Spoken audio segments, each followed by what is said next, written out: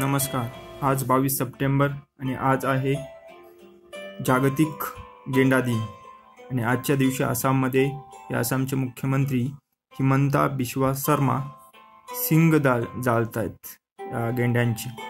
तर याचं कारण काय तर या गेंड्यांची शिकार त्यांचे सिंग मिळवण्यासाठी होते. कारण त्या सिंगाचा उपयोग औषधांसाठी केला जातो. आणि त्यात काहीतरी गुणधर्म आहे या समजातून त्या गेंड्यांना मारलं जातं आणि त्यांचे सिंग काढून घेतले जातात. तर हे सिंग वन विभाग आणि काही संस्थांच्या मदतीने जे गेंडे आहेत ते काढले जात आहेत. म्हणजे जेणेकरून जर सिंग त्यांच्या जबड्याच्या वर नसतील तर त्यांची शिकार होणार नाही. तर त्यामुळे आज आसाममध्ये दोन हजार चारशे एकोणऐंशी सिंग जाळण्यात आलेले आहेत. तर आज या गेंड्यांची संख्या खूप कमी आहे. तर काही वर्षांपूर्वी तर एका दुधवा नॅशनल पार्कमध्ये तर एकही गेंडा नव्हता. पण त्या ठिकाणी जवळपास एकोणीसशे चौऱ्याऐंशी साली पाच गेंडे आसाममधून आणण्यात आले आणि त्या गेंड्यांना खास विमानाने दिल्लीला आणलं होतं आणि दिल्लीवरून ते उत्तर प्रदेश येथील दुधवा नॅशनल पार्कमध्ये आणण्यात आले. आणि आज त्या ठिकाणी तब्बल बेचाळीस गेंडे आहेत.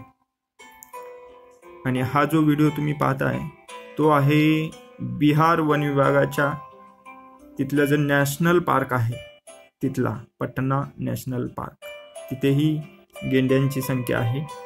आपल्या भारतात आसाम बिहार उत्तर प्रदेश या ठिकाणी हे गेंडे एक सिंगी गेंडे आहेत ज्यांना भारतीय गेंडे मानतात.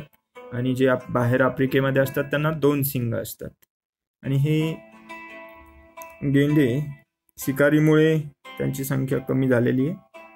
तर त्याचं संवर्धन केलं जात आहे सरकारकडनं.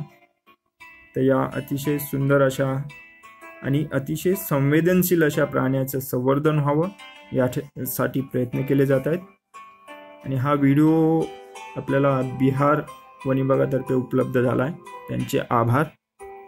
आणि आपण सर्वांनी या गेंड्याच्या संवर्धनासाठी अवेअरनेस आणि त्याचा जे पाठिंबा लागणार आहे तो दिला पाहिजे. आणि सर्वांपर्यंत ही माहिती पोचवण्यासाठी मी हा छोटासा व्हिडिओ तयार केलेला आहे.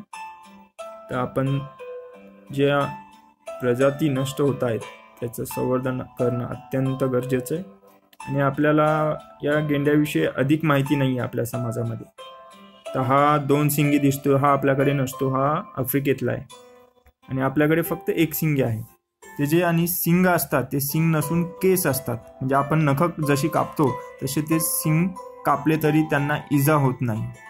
तर या हा जो उपक्रम राबवला आसाममध्ये तो यांच्या संवर्धनासाठी आपण सर्वांनी देखील या गेंड्यासाठी संवर्धनासाठी प्रयत्न करायला हवेत.